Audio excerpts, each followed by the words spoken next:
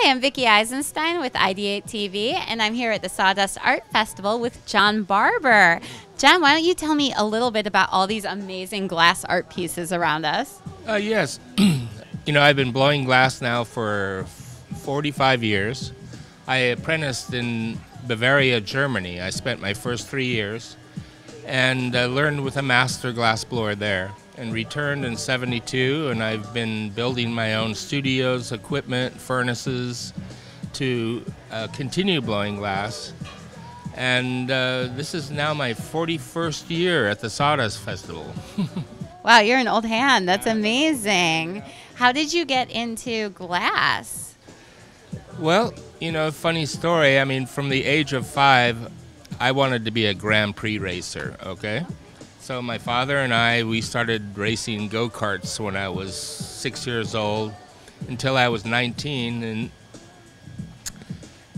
at that, at that year, two of my friends died in a race. And I went, you know, there must be something else. And that, so I have a sister that lives in Munich, and I went to visit her.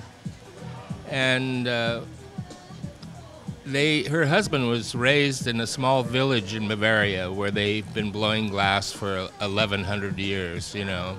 So I had a tour of the factory and it was just one of those things that I saw it done and I just went I could do that and what a challenge it would be. And so I ended up uh, then staying in, in Bavaria for three years and uh, have stuck with it all these years. And it's still a challenge in 41 years, still a challenge, but have reached a, a master status. You know, that in Europe there's a 20 year apprenticeship before maybe you're considered for the master's bench. And, uh, you know, I've been producing one of a kind works, almost 12 tons a year of art glass.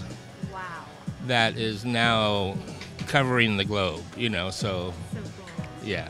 Uh, do you have a favorite? Do you prefer making vases or do you like making fish sculptures like I see over there? What What's your favorite type of thing to make?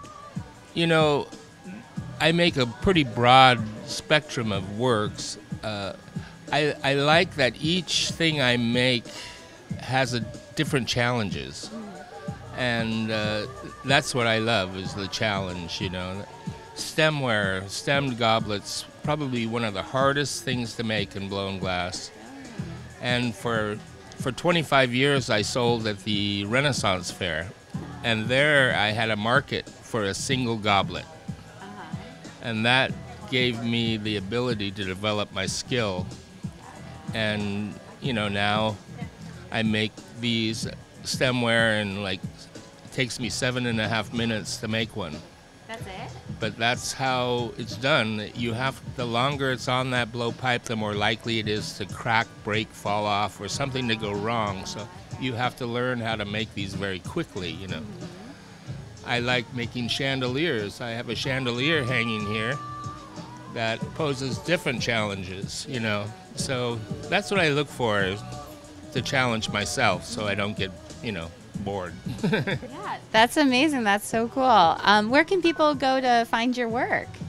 My my home and studio is right here in Laguna Canyon, mm-hmm. and I'm you know open there during when the summer's over. We open we have a showroom there, and people are welcome to stop in and see how it's done, and so that Okay, well, thank you so much for the interview. And uh, yeah, thanks for watching Ideate TV. This is Vickie Eisenstein at the Sawdust Festival.